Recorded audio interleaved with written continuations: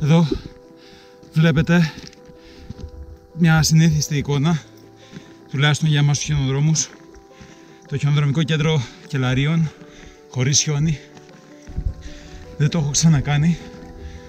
Πάω με τα πόδια στην κορυφή του Βάκου γιατί σήμερα είναι του προφητηλία και πάω να ανάψω ένα κεράκι για τη σεζόν και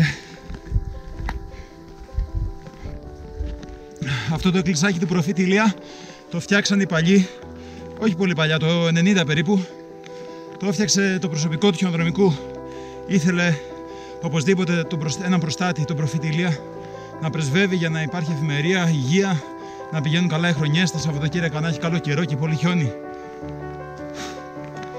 Έρχομαι τώρα από τα Ιωάννινα. Πέρασα ένα πάρα πολύ ωραίο διήμερο. Έμεινα στο νησάκι των Ιωαννίνων.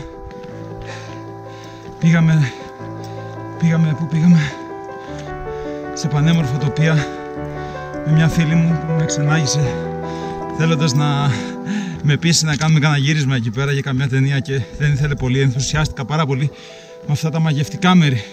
Και θα δένει το, το άλογο στην άκρη και θα ανεβαίνει αυτά τα σκαλιά εδώ. Με θαυμασμό, με αυτό που ζει, το όραμα. Και θα ανεβαίνει αυτά τα σκαλιά. Σαν να τον, σαν να τον τραβάει κάτι. Σαν να τον τραβάει αυτή η γυναίκα που είναι γεμάτο φως. Πραγματικά όμορφα τοπία, πανέμορφα τοπία. Δυστυχώς κατάλαβα, ευτυχώς μάλλον ότι δεν γνωρίζω τίποτα από την Ελλάδα μας. Τίποτα, τίποτα. Έχει τόσες ομορφιές αυτή η χώρα.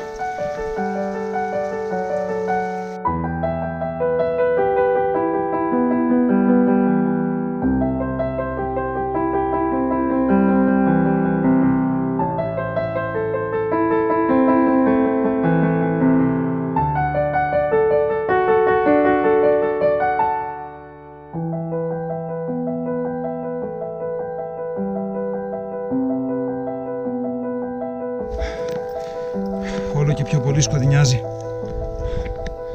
Η ώρα είναι 9 περίπου. Σε λίγο θα είμαι μόνος μου με τα αστέρια. Και με εσάς καλοί μου φίλοι. Έχω στη σκέψη μου όλους εσάς. Δεν είμαι μόνος εδώ.